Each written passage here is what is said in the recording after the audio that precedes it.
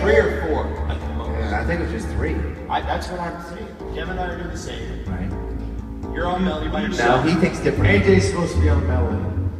Yeah, he's supposed be on Melly. There you go. Do that with me. Who else is on melody? No, is just you on Melly right now?